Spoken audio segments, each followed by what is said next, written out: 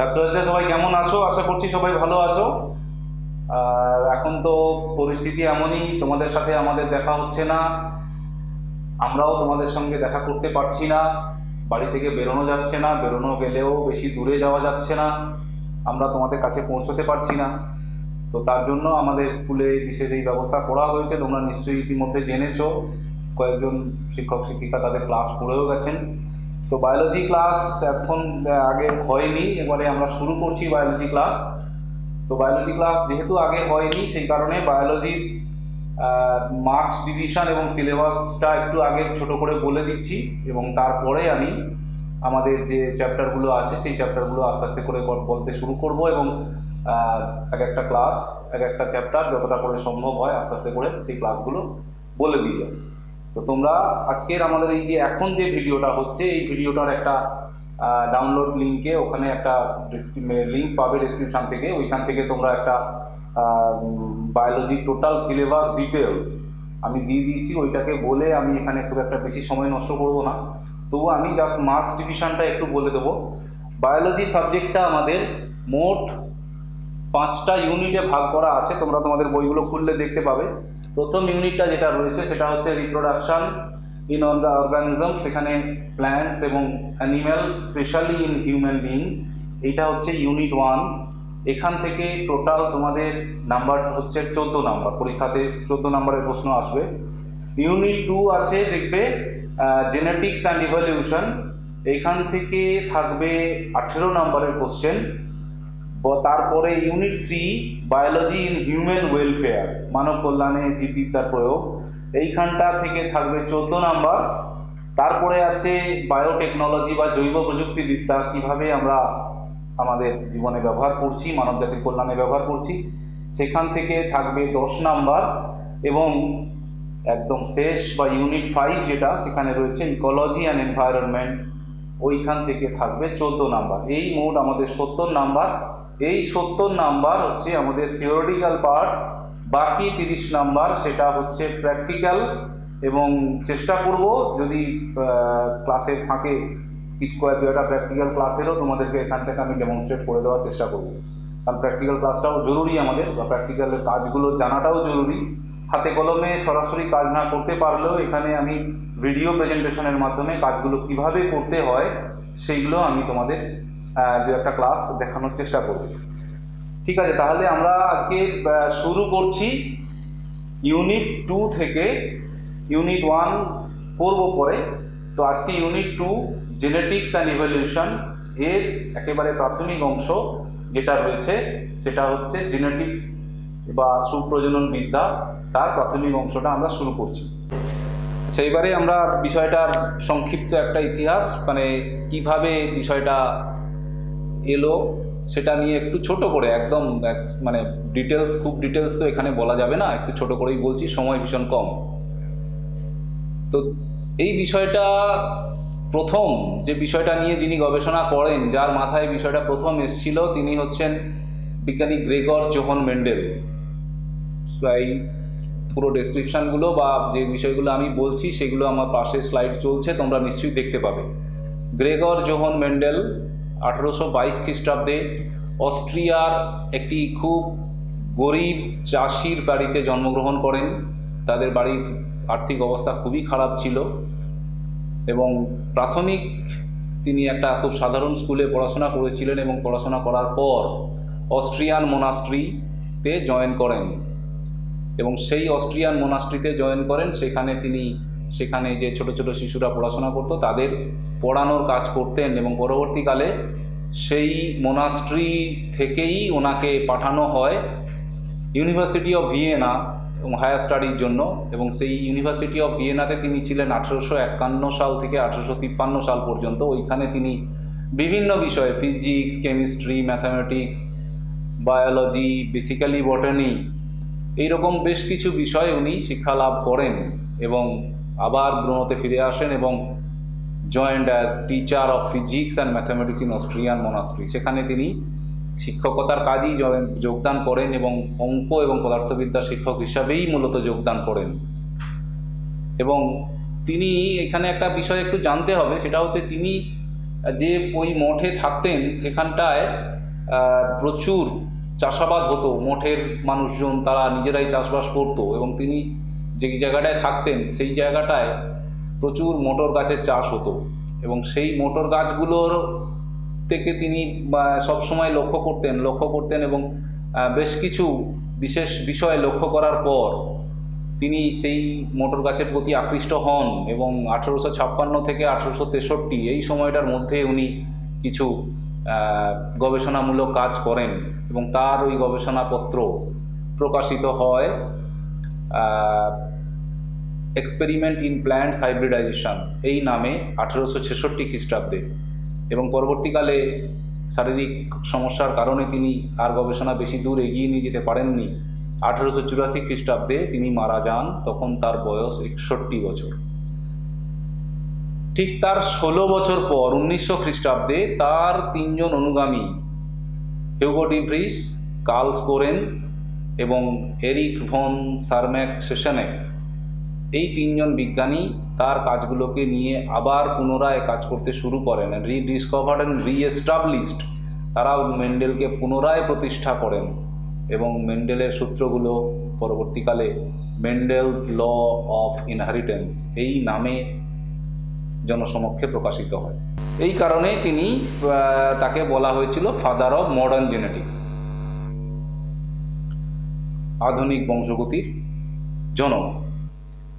এবারে এই বিষয়টা গভীরে যাওয়ার আগে আমাদেরকে এই বিষয় সম্পর্কিত কিছু টার্মিনোলজি বা পরিভাষা আছে জেনেটিক টার্মিনোলজি এগুলো আমরা মোটামুটি কিছু শব্দের সাথে আমরা পরিচিত মাধ্যমিকে যখন পড়েছিলাম তখন আমরা পড়েছিলাম।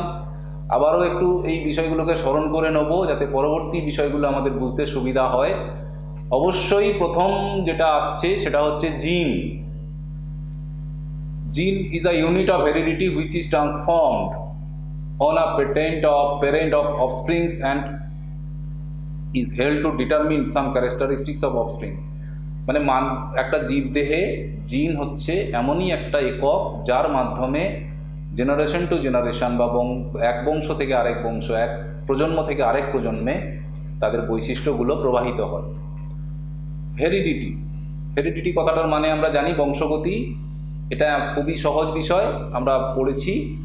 সেটা হচ্ছে যে এই একটা বিশেষ পদ্ধতি যার মাধ্যমে পিতামাতার দোষ, গুণ, চরিত্রিক বৈশিষ্ট্য যেগুলো রয়েছে, সেগুলো একটা প্রজন্ম থেকে আরেকটা প্রজন্মে প্রবাহিত হয়। এরপরে শব্দটা হচ্ছে লোকাস। লোকাস একটা কি? স্পেসিফিক সাইট একটা নির্দিষ্ট জায়গা, অনেক ক্রোমোজোম। একটা ক্রোমোজোমের মধ্যে where a particular gene or genetic marker is located আমাদের জানি যে আমাদের যে উন্নত যৌন জননকারী জীব যত রয়েছে বা পৃথিবীর যে কোনো জীবের মধ্যে, তাদের শরীরের মধ্যে যে নিউক্লিয়াস রয়েছে, সেই নিউক্লিয়াসের মধ্যে প্রচুর মানে ক্রোমোজোম রয়েছে এবং সেই ক্রোমোজোমের মধ্যে প্রচুর জিন আছে। এবং ক্রোমোজোমগুলো প্রত্যেকটা জীবের মধ্যে নির্দিষ্ট জিন সংখ্যাও নির্দিষ্ট। কিন্তু এক একটা ক্রোমোজোমের মধ্যে অনেক জিন। এবং সেই জিনগুলো তার দেহের এক একটা বৈশিষ্ট্য নিয়ন্ত্রণ করে এবং সেই প্রত্যেকটা জিনের একটা নির্দিষ্ট জায়গা আছে, যেই জায়গায় সে অবস্থান করে, সেই অবস্থানটাকেই বলা হয় লোকাস। এরপরে হচ্ছে অ্যালিল বা অ্যালিলোমর্ফ। অ্যালিল, অ্যালিলোমর্ফ একই কথা। কোনো একটা উন্নত যৌন জননকারী ডিপ্লয়েড জীব, যেখানে তার ক্রোমোজোম সংখ্যা টু সেইখানে আমরা জানি যে তার দেহের মধ্যে একটা বৈশিষ্ট্য নির্ধারণ হয়ে থাকে দুটো জিন এবং তাদের আন্তঃক্রিয়া বা ইন্টারাকশনের মাধ্যমে একই লোকাসে, হোমোলোগাস ক্রোমোজোমের সেম লোকাসে তারা অবস্থান করে এবং সেই জিন জোড়ার দ্বারাই তার কোনো একটা বিশেষ বৈশিষ্ট্য নিয়ন্ত্রণ হয়ে থাকে। সেই জিন জোড়ার এক একটি জিনকে আমরা বলে থাকি অ্যালিল বা অ্যালিলোমর্ফ, হোমোজাইগাস। একটু আগেই বললাম যে একটি জীবের মধ্যে কোনো একটা বিশেষ বৈশিষ্ট্য নির্ধারণ করার জন্য নির্দিষ্ট রয়েছে এক জোড়া জিন। এবং সেই এক জোড়া জিন যদি একই প্রকৃতির হয়ে থাকে, তাহলে সেই জীবটাকে আমরা বলব হোমোজাইগাস জীব। যদি সেই জিনটা বা সেই জিন জোড়া যদি বিপরীত প্রকৃতির হয় বা দুটো আলাদা রকমের হয়ে থাকে, তাহলে সেই জীবটাকে আমরা বলব হেটেরোজাইগাস জীব। এরপরে আসছি ডমিনেন্ট ক্যারেক্টার ডমিনেন্ট ক্যারেক্টার বা প্রকট গুণ। প্রকট গুণ কি? এটা একটা allele or gene. That is expressed in organism's phenotype masking the effect of recessive allele or gene when present. অর্থাৎ, এই গুণটা এমনই একটা গুণ, যেই গুণটা পাশে যদি কোনো আরেকটা গুণ থাকে, ধরো লম্বা আর বেটে, এই লম্বা আর বেটে গুণ যদি একসঙ্গে থাকে, তাহলে একটা গুণ প্রকাশিত হবে, আরেকটা গুণ প্রকাশিত হবে না। প্রাথমিকভাবে যদি আমরা নাও জানি যে কোনটা প্রকট লম্বা আর বেটের মধ্যে তাহলে যেই গুণটি প্রকাশিত হবে দুটো যখন একসঙ্গে থাকবে, তখন সেই গুণটিকেই আমরা প্রকট গুণ বলব। খুব স্বাভাবিকভাবেই আমরা জানি মোটর গাছের ক্ষেত্রে যেটা ঘটে থাকে, লম্বা এবং বেটে দুটো গুণ এক জায়গায় থাকলে লম্বাটা প্রকাশিত হয়, বেটেটা প্রকাশিত হয় না। অর্থাৎ বেটে গুণটাই হচ্ছে ডমিনেন্ট ক্যারেক্টার এরপরে আসছি রিসেসিভ ক্যারেক্টার রিসেসিভ ক্যারেক্টারটা কি? তার প্রকট বৈশিষ্ট্যের সঙ্গে থাকলে যে গুণটা প্রকাশিত হয় না, অথবা যে গুণটা কেবলমাত্র হেট্রোজাইগাস অবস্থায় প্রকাশিত হয়, সেটাই হচ্ছে recessive character next genotype genotype কি? Collection of genes responsible for various genetic traits of a given organism বিষয়টা কি? বিষয়টা যেটা, সেটা হচ্ছে যে আমরা একটা জীবের বাহ্যিক কোনো একটা বৈশিষ্ট্য, যেমন মোটর গাছের ক্ষেত্রেই যদি আমি ধরি সহজ এক্সাম্পল যে লম্বা এই লম্বা হওয়ার পেছনে দু রকম অবস্থা থাকতে পারে তার জিনগত অবস্থা। দুটো বড়টি থাকতে পারে, একটা বড়টি, একটা ছোটটিও থাকতে পারে। তো এই অবস্থা, অর্থাৎ সে দুটো বড়টি নিয়ে লম্বা, নাকি একটা বড়টি, একটা ছোটটি নিয়ে লম্বা? অর্থাৎ তার ওই যে বৈশিষ্ট্যটা, সেই বৈশিষ্ট্য হওয়ার হওয়ার পেছনে যে জিনগত বৈশিষ্ট্য কী রয়েছে, সেটাই হচ্ছে তার জিনোটাইপ। ফিনোটাইপ। ফিনোটাইপটা কি? না, ভেতরে জিনগত অবস্থা যাই থাকুক না কেন, বাহ্যিকভাবে আমরা যেটা দেখি, সেটাই হচ্ছে তার ফেনোটাইপ বাহ্যিক বৈশিষ্ট্য। অর্থাৎ, দুটো বড়টি এক জায়গায় থাকলে মোটর গাছ লম্বা হয়, আমরা জানি। আবার একটা বড়টি একটা ছোটটি এক জায়গায় থাকলে সেখানেও মোটর গাছ লম্বা হয়, আমরা জানি। কিন্তু, ভেতরের অবস্থা যাই থাক না কেন, বাইরের দিক থেকে আমরা দেখছি, সে গাছটা লম্বা। এটাই হচ্ছে ফেনোটাইপ এরপরে আসছে মনোহাইব্রিড ক্রস মনোহাইব্রিড ক্রস কি? যখন কোনো সংকরায়ন পরীক্ষা করা হয়, একজোড়া বিপরীত বৈশিষ্ট্যের নিরিখে কোনো একটা বিশেষ জীবে, সেই ধরনের সংকরায়নকে বলা হয় মনোহাইব্রিড ক্রস। ডাইহাইব্রিড ক্রস, একটা জীবের মধ্যে তো প্রচুর ক্যারেক্টার থাকে, প্রচুর ট্রেডস থাকে। তো সেখানটায় এক জোড়ার বদলে যদি দুজোড়া বৈশিষ্ট্যকে একসাথে করে নিয়ে যদি সংকরায়ন পরীক্ষা করা হয়, তখন তাকে বলা হয় dihybrid cross. Parental generation parental generation কি?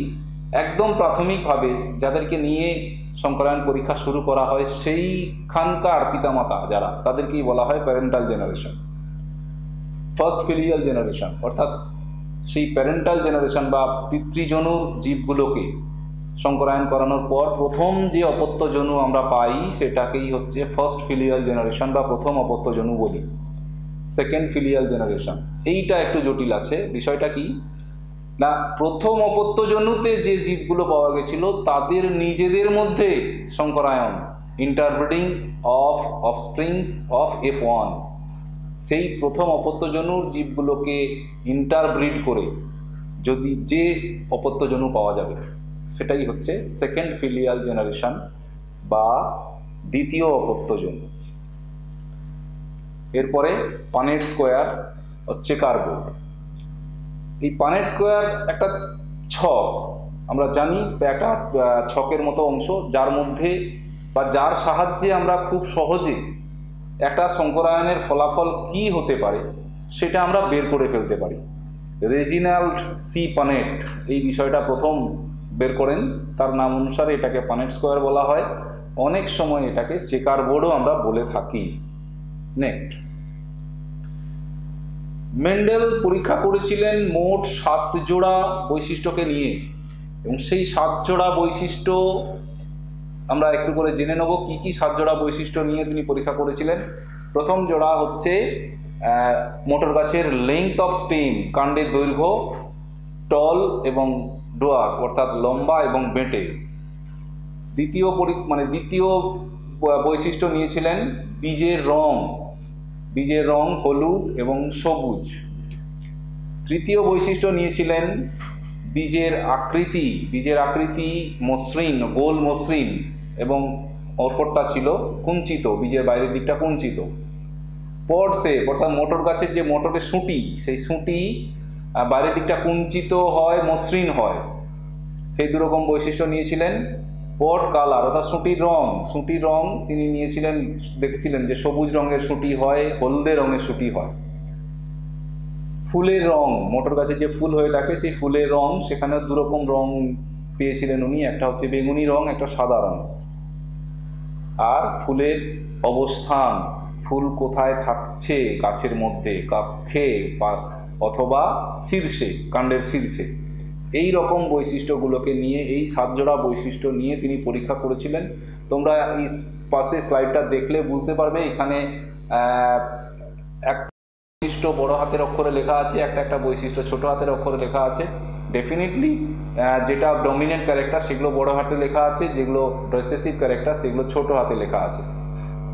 নেক্সট একটা ছবির মাধ্যমে দেখানো হয়েছে যে এখানে বিভিন্ন ধরনের যে বৈশিষ্ট্যগুলো, সাতটা বৈশিষ্ট্য তিনি নিয়েছিলেন, সেই সাতটা বৈশিষ্ট্য এখানে ছবির মাধ্যমে দেখানো হয়েছে। বীজের রং বীজের আকৃতি, সুঁটির রং, সুঁটির আকৃতি, কাণ্ডের দৈর্ঘ্য ফুলের অবস্থান, ফুলের রং। নেক্সট কেন তিনি মোটর গাছ বেছে নিয়েছিলেন? এটার পিছনে অনেক রকমের কারণ আমরা দেখি, অনেক রকমের কারণ বলা হয়। তো যাই হোক খুব কমন যে কয়েকটা কারণ দেখা আছে সেটা হচ্ছে কি, না মোটর গাছ হচ্ছে একটা এক বর্ষজীবী উদ্ভিদ এবং এই এক বর্ষজীবী উদ্ভিদ হওয়ার কারণে তার জীবনচক্রটা খুব ছোট হয়। তার ফলে অনেকগুলো প্রজন্ম নিয়ে মোটর গাছে পরীক্ষাটা করা যেতে পারে। এটা একটা কারণ। দ্বিতীয় কারণ হচ্ছে অনেক রকমের বৈশিষ্ট্য এই একটা গাছের মধ্যে পাওয়া যায়। তৃতীয় কারণ যে বৈশিষ্ট্যগুলো পাওয়া যায় সেই বৈশিষ্ট্যগুলো তার বিশুদ্ধতা বেশ কিছু প্রজন্ম ধরে ধরে রাখতে পারে। চতুর্থ কারণ যেটা সেটা হচ্ছে মোটর গাছের ওই যে ফুলের যে শঙ্করায়ন ফুলের জেনেটালিয়া যেটা মানে আহ, পুংকেশর গর্ভকেশর এইগুলোকে নিয়ে ইতর পরাগ যোগ ঘটিয়ে দেওয়া কৃত্রিমভাবে এটা খুব সহজ। রিপ্রোডাক্টিভ পার্টস অর্থাৎ ওই পুংকেশর এবং গর্ভকেশর। এটা আকারে অনেক বড় এবং খুব সহজে তাদের সংকরায়ন ঘটানো যায়। তার ফলে এই কারণগুলোতে তিনি বা এই বিষয়গুলোতে মানে বিষয়গুলো লক্ষ্য করেছিলেন, তার ফলে মোটর গাছ নিয়ে পরীক্ষা করা তার পক্ষে কিছুটা সুবিধাজনক মনে হয়েছিল। নেক্সট এইবারে আমরা আসছি মেন্ডেলের এক সংকর জনন পরীক্ষায়। Mendel crossed a dwarf, a pure tall variety of pea plant with a pure dwarf variety. একটা বিশুদ্ধ লম্বা গাছ তার সাথে সংকরায়ন ঘটিয়েছিলেন একটা বিশুদ্ধ বেঁটে গাছে। এখন এই লম্বা বৈশিষ্ট্যটা তার জেনোটাইপ অবস্থা দুরকম হতে পারে আমরা জানি। আমরা এর একটু আগেই জেনেছি যে দুটো বড়টি থাকলে সেটা লম্বা হবে একটা বড়টি একটা ছোটটি থাকলে সেটাও লম্বা হবে। তো এখানটায় একটা বিশুদ্ধ, একটা শঙ্কর এবং সেটা তিনি বুঝলেন কি করে যে কোনটা বিশুদ্ধ, সেই বিষয়ে আমরা পরে আসব। আগে এখন আমরা শুধু এটুকু দিয়ে আগে শঙ্করায়ন পরীক্ষাটা দেখে নিই। তিনি করেছিলেন একটা বিশুদ্ধ লম্বা মোটর গাছের সাথে একটা বিশুদ্ধ বেটে মোটর গাছের শঙ্করায়ন ঘটিয়েছিলেন।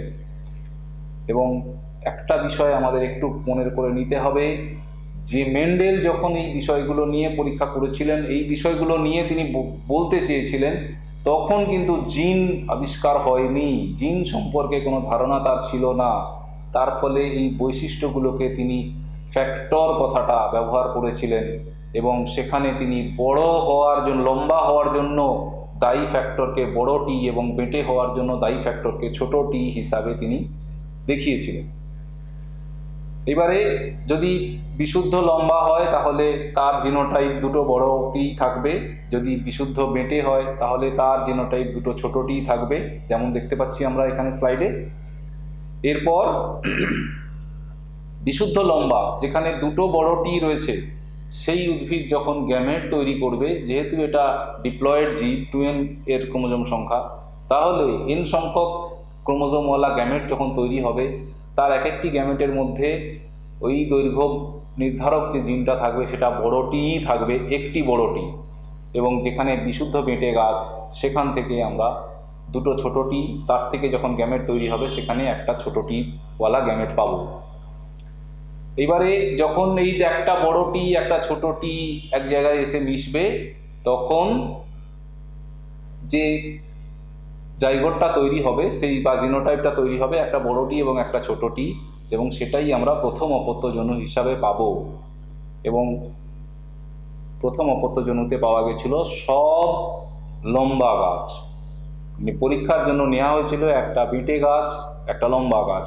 প্রথম অপত্যজনুতে পাওয়া গেল সব লম্বা গাছ। নেক্সট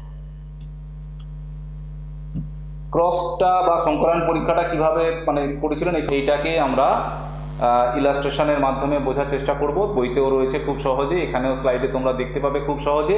টি ওয়ানে একটা বড় টি এবং একটা ছোট টি এদিকে একটা বিশুদ্ধ লম্বা গাছ, এদিকে একটা বিশুদ্ধ বেটে গাছ দেখানো হয়েছে এবং এই গাছগুলো যখন গ্যামেট প্রডিউস করবে, সেই গ্যামেট প্রডিউস করার সময় কীভাবে গ্যামেট তৈরি হবে? দুটো বড়টি তার একটা করে বড়টি এক একটা গ্যামেটে যাবে, দুটো ছোটটি তার একটা করে ছোটটি এক একটা গ্যামেটে যাবে এবং এদিকের যে কোনো একটা টি, ওদিকের যে কোনো একটা টি এক জায়গায় যখন মেলে, তাহলে এফ ওয়ানে আমরা কি পাবো? একটা বড়টি, একটা ছোটটি, অর্থাৎ একশো পারসেন্ট লম্বা উদ্ভিদ। তো এইখানটায় খুব স্বাভাবিকভাবেই আমাদের একটা প্রশ্ন আসতে পারে। আমরা তো তখন দেখতে পাচ্ছি না ভেতরে কি অবস্থা রয়েছে। তো স্বাভাবিকভাবে একটা প্রশ্ন আসতে পারে যে where are the dwarf plants বেটে গাছগুলো কোথায় গেল? তো বেটে গাছগুলো কি সব হারিয়ে গেল না তো সেইটা নিয়ে বেশ কিছুদিন ধরে ভাবনা চিন্তা করার পর তখন তিনি বললেন যে, একটা বেটে গাছ, একটা লম্বা গাছের মধ্যে সংকরায়ন ঘটিয়েছি। তো তার থেকে যদি এই গাছগুলো পাওয়া যায়, তাহলে বেটে গাছের বৈশিষ্ট্যগুলো ওই গাছের মধ্যেই থাকা উচিত অথবা নষ্ট হয়ে গেছে। তো তাই জন্য তিনি করলেন কি এফ ওয়ানে যে প্ল্যান্টগুলোকে বা গাছগুলোকে পাওয়া গেছিল, তাদের নিজেদের মধ্যে সংকরায়ন ঘটালেন। এবং তার থেকে তিনি এফ টু পাওয়ার চেষ্টা করলেন। নেক্সট এখানটায় দেখো একটা জিনিস খুব পরিষ্কার। এফ ওয়ানে যাদেরকে পাওয়া গেছিল, একটা শঙ্কর লম্বা উদ্ভিদ, তার সঙ্গে আরেকটা শঙ্কর লম্বা উদ্ভিদ, তারা যখন গ্যামেট তৈরি করছে, প্রতিটা উদ্ভিদই একটা করে বড়টি একটা করে ছোটটিওয়ালা গ্যামেট তৈরি করছে এবং সেই গ্যামেটগুলো যদি আমরা ধরে নিই যে যে কোনোটা যে কোনোটার সাথে মিলতে পারে, তাহলে আমরা এখানেই এক কানেট স্কোয়ার বা চেকার বোর্ড ইউজ করছি, একদিকে আমরা ফিমেল গ্যামেটগুলোকে রেখেছি, একদিকে আমরা মেল গ্যামেটগুলোকে রেখেছি। এবং যে কোনো একটা গ্যামেট যখন যে কোনো একটা গ্যামেটের সাথে মিলছে, সেখানে কি কি পসিবিলিটিস আসছে?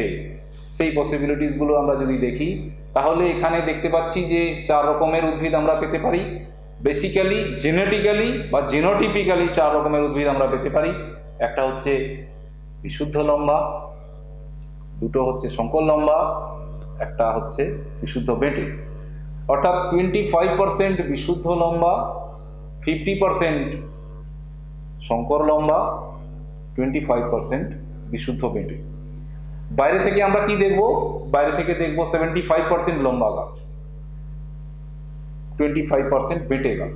কিন্তু যদি আমরা জিনোটাইপটা বিশ্লেষণ করি, এই জিনোটাইপটা কি করে বিশ্লেষণ করা যায়? তার জন্য আমরা একটু পরে জানব বা পরের ক্লাসে জানব। টেস্ট ক্রস আছে।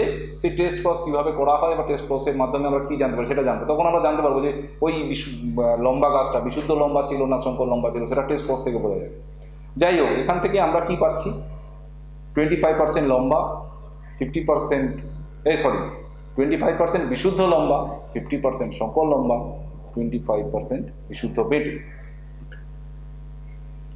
এইখানে কি কি আউটকাম পাশে ছবি দিয়ে দেখানো হয়েছে এবং এখানে কি কি পাচ্ছি আমরা পরপর বলে যাচ্ছি। All F one T plants are tall F ওয়ানে যারা এসছে সবাই লম্বা ছিল। এফ টুতে এসে seventy five percent all twenty five percent বেটে। বাইরে থেকে আমরা দেখছি three is to one as a phenotype ratio অর্থাৎ বাহ্যিক বৈশিষ্ট্যের অনুপাত যদি আমরা দেখি, তাহলে দেখব তিন ভাগ লম্বা, এক ভাগ বেটে। But when we analyse genetic condition যখনই আমরা জেনেটিক বা জেনোটাইপিক রেশিও যদি দেখি, তাহলে আমরা দেখব twenty five percent homozygous tall fifty percent heterozygous tall twenty five percent heterozygous dwarf বেটে এবং এখানে আমরা পাচ্ছি genotype ratio one is to two two is to এইবারে বেটে বৈশিষ্ট্যটা একটা জিনিস এখানেই কাছে আমাদের কাছে পরিষ্কার হয়ে যাচ্ছে যে বেটে বৈশিষ্ট্যটা কিন্তু ওই যে প্রথম অপত্যজনুতে আমরা যে ভেবেছিলাম বা মেন্ডেল ভেবেছিল বা যে কেউ ভেবেছিল, যে কেউ ভাববে যে বেটে বৈশিষ্ট্যটা গেল কোথায়, নষ্ট হয়ে গেছে নাকি? তো নষ্ট হয়ে গেলে তো আর পরে সেটা পাওয়া সম্ভব নয়। কিন্তু এখানে একটা জিনিস পরিষ্কার যে যেহেতু এফ টুতে বা দ্বিতীয় অপতজনুতে এসে বেটে গাছটিকে আবার ফেরত পাওয়া গেছে, তার মানে বেটে বৈশিষ্ট্যটা নিশ্চয়ই নষ্ট হয়ে যায় অর্থাৎ বেটে বৈশিষ্ট্যটা এফ ওয়ানে অর্থাৎ প্রথম অপত্যজনুতে ডরমেন্ট অবস্থা। এই ডরমেন্ট অবস্থা মানে ঘুমিয়ে থাকা। সেটা ইনঅ্যাক্টিভ অবস্থায় ছিল। কেন? এই বেটে গাছটা বা বেটে বৈশিষ্ট্যটা সরি বেঁচে বৈশিষ্ট্যটা হচ্ছে একটা প্রচ্ছন্ন গুণ। সেই কারণেই ওটা ওখানে ঘুমিয়েছিল। এবং এটা can not express in heterozygous condition অর্থাৎ হেট্রোজাইগাস অবস্থায় কখনোই কোনো প্রচ্ছন্ন গুণ বের হবে না। তার ফলে একটা জিনিস আমরা পরিষ্কার যে এখানটায় যেহেতু বেটেটা প্রথম অপতজনুতে পাইনি তাই লম্বাটা হচ্ছে ডমিনেন্ট এবং বেটেটা হচ্ছে recessive character When two contrasting traits are introduced in, a, in organism, only the dominant traits are explored. দুটো কোনো একটা জীবের মধ্যে যদি একই রকমের দুটো বিপরীত বৈশিষ্ট্য প্রবেশ করে তখন কি হবে কেবলমাত্র যেটা ডমিনেন্ট গুণ, সেটাই বের হবে। This is law of dominance অর্থাৎ একটা জীবের মধ্যে যখন দু রকমের বিপরীত বৈশিষ্ট্য প্রবেশ করবে, যে বৈশিষ্ট্যটা প্রকাশ পাবে সেটাই প্রকট গুণ। এটাকেই বলা হয় প্রকটতার সূত্র বা ল অফ ডমিনেন্স এইখান থেকে মেন্ডেল তার প্রথম সূত্রটা তৈরি করলেন, যেটাকে আমরা বলি ল অফ সেগ্রিগেশন বা পৃথক ভবন সূত্র। Whatever the unit characters are introduced in a zygote or in an organism, they neither blended nor contaminated but maintain their separate existence and at the time of gamete formation they become separated from each other অর্থাৎ কোনো একটা জীবের মধ্যে কোনো একটা জীবের মধ্যে যত জোড়া বিপরীত বৈশিষ্ট্য আসুক কোনোটা কোনোটার সাথে মিশে যাবে না কোনোটার বিলোপ হবে না প্রত্যেকে তার নিজস্ব সত্তা বজায় রাখবে এবং পরবর্তীকালে গ্যামেট তৈরি করার সময় সে কি করবে? একটা বৈশিষ্ট্য আর একটা বৈশিষ্ট্য থেকে আলাদা হয়ে যাবে। যে কারণেই দ্বিতীয় অপত্যজনিতে গিয়ে বেটে গাছটাকে ফেরত পাওয়া গেছে।